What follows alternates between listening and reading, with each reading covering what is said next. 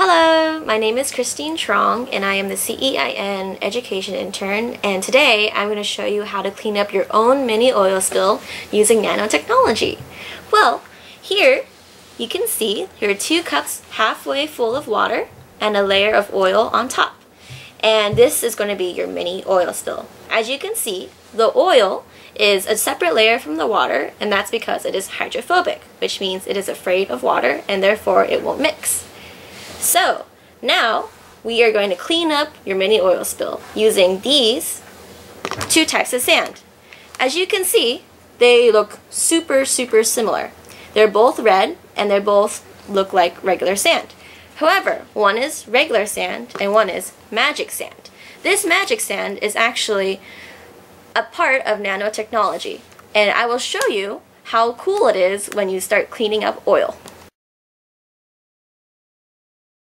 Alright, so now we're going to start cleaning up our oil spill with our regular sand. So, let's move these to the side so you can focus on this oil spill. I'm going to sprinkle the sand over the layer of oil, like this. Watch and see what happens. As you can see, it looks sort of like a lava lamp. The oil is falling to the bottom, but it is coming back up. And the sand stays on the bottom. The reason that the oil comes back down in the first place is because of gravity. So the, the weight of the sand pulls down the oil, but there's no bond or connection between the oil or the sand. So the oil just floats back up. And once I finish this cup of sand, if I leave it to sit for a couple of days or weeks, you will eventually see all the oil come back up to the top. So this sand is actually not cleaning up any oil. So this, if you jiggle a little bit, is regular sand. Shake. Alright, now we're going to clean up our second oil spill using our magic sand or our nano sand, so to speak. This sand is different because every grain of sand is coated with a 1 nanometer layer of a silicon compound, which makes the sand actually hydrophobic. So this means that the sand will bond to the oil because like likes like.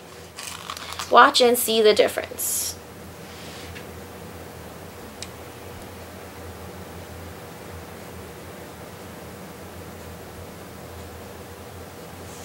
Plop. See that? So not as much oil is going back to the top. Keep on doing it. Eventually this more and more sand would bond to more and more oil.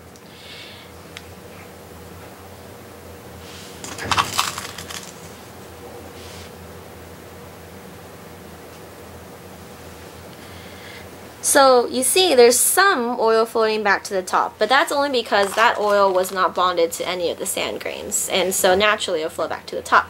But if I keep putting on sand, it will eventually bond and also fall down to the bottom. Alright, so now the sand has been added. Now if you do a close-up of the different oil layers, you can see that the oil spill with the regular sand has a thicker layer than the oil spill with the nano sand. And so, there you have it. You just cleaned up your mini oil spill using nanotechnology.